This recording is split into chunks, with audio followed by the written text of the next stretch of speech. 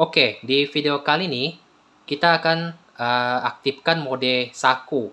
Jadi mode saku itu maksudnya uh, di, saat, di saat HP kita tidur kita akan memasukkan ke dalam uh, kantong celana ataupun kantong baju ya. Jadi supaya dia layarnya tidak nyala ya, tidak menekan sana sini. Kita aktifkan saja fitur itu ya karena di HP ini kan di HP Xiaomi ini yang saya gunakan seri 10C dia juga sudah memiliki sensor. Jadi cara untuk kita aktifkan sebelum kita masuk ke, ke kantong celana atau kantong baju atau dalam tas itu teman-teman pergi saja ke bagian setelan. Di sini teman-teman scroll ke bawah cari layar kunci. Di sini kulit lagi ke bawah ya scroll ke bawah. Teman-teman cari yang namanya mode saku. Di sini silakan teman-teman aktif.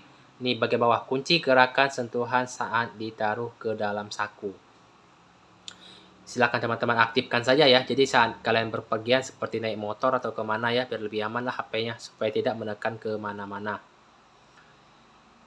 Oke, semoga video singkat ini bermanfaat untuk teman-teman semua ya. Buat teman-teman yang ada pertanyaan, silahkan komen saja di bawah. Bye-bye.